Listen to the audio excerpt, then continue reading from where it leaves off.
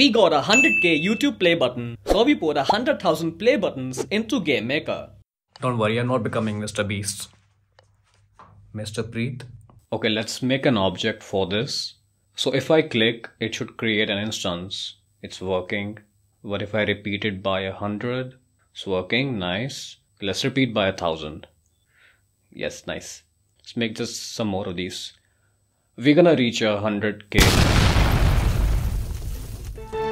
This just in, GameMaker tutorial maker Gurpreet has died after trying to create hundred thousand objects in GameMaker at once.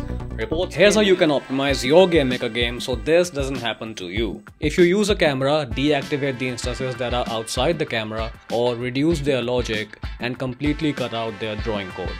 Don't do everything in one frame, use an alarm to do something say every second. Stagger your code. Use the debugger. The profiler shows you how much time something is taking so you can try to optimize. Hey, didn't you like just die? Oh, um, uh, where you're the same as me. Huh? Guys, what is happening? Eh, eh, eh,